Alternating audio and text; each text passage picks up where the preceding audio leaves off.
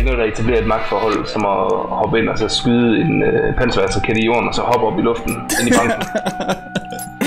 så har du ligesom sat på plads.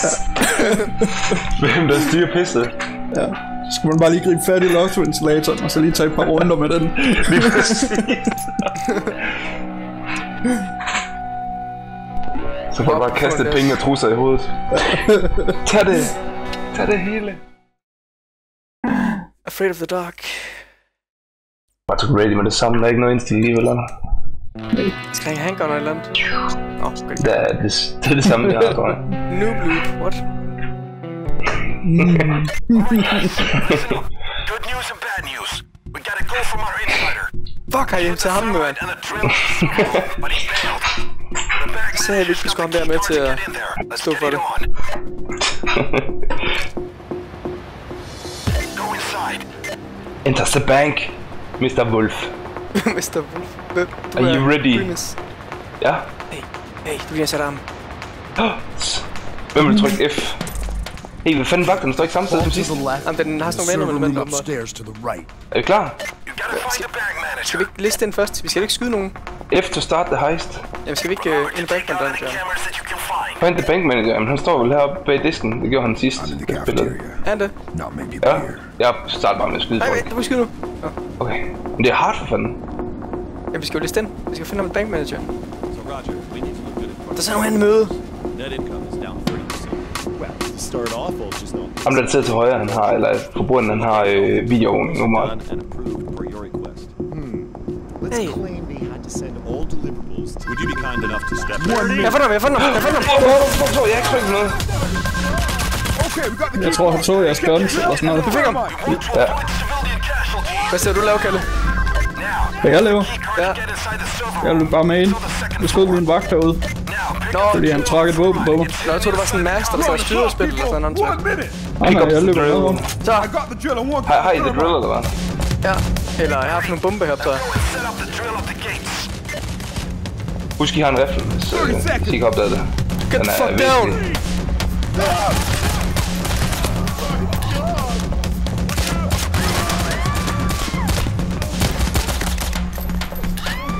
Shit. Brian, jeg dækker dig her ovenfra. Det er spøgelser, vi Skal, skal jeg gå ned i øh, lobbyen, eller hvad? Fordi nu kommer politiet lige om lidt. Ja, kom så. Vi, er, vi mødes hernede, ikke?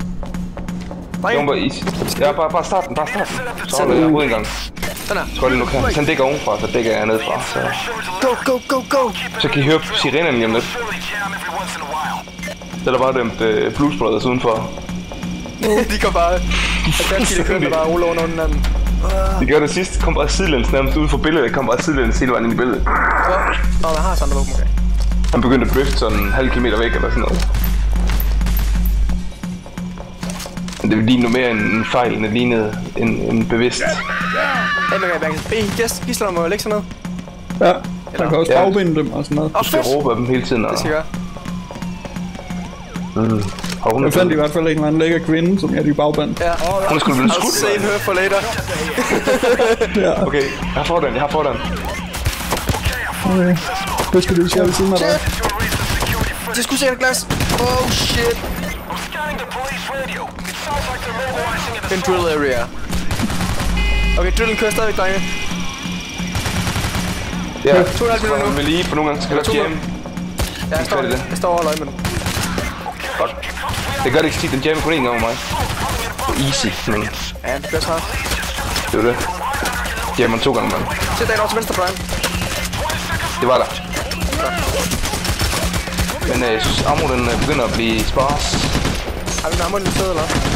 Og man skal ud og røre ved linet, så de har lidt på sig. Så må vi skyde dem for langt ude. Øj, drenge, det er det, vi er ude. Er I klar? Brian, der er, der er hul. Eller der er et eller andet. Nej. Stay clear. Security footage. Security footage. Tag, gør op og tager den. Gør op og tager den. Ja, en går op og tager den. Det gør du, Brian. What? Jamen, jeg har sgu da lobbyen. Tag Okay, jeg løber. boldsmætter. Tag boldsmætter. Sniper. Keep away Kom window. Jeg ved ikke, hvordan jeg tager nummer. Bold! For helvede, du har drukket igen nu. Shit! Vise, Det var klippet vise en facadevindue, så løber der bare folk ind.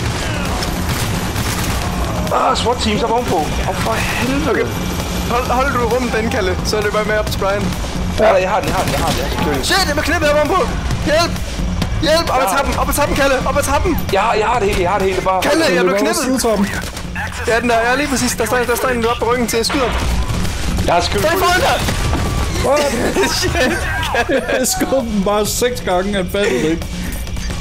Nu står han bare og tæver mig for hårdt. Fuck dig! Det er det, vi har øvet. To. To, sekunder nu, så er vi igen, tror jeg. Eller hvad skete der? Hjælp! Hjælp! What the fuck, man? Der er et eller andet, der negotiator. Jeg ved ikke, hvad der sker.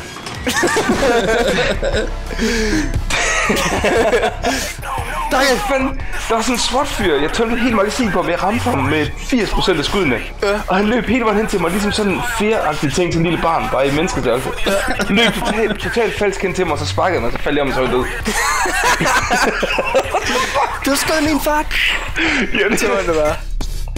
Og han havde ikke noget decideret body armor på, han havde bare en uldtrøje og så en, hvad hedder det, en Sam Fisher Ja. øh, briller på.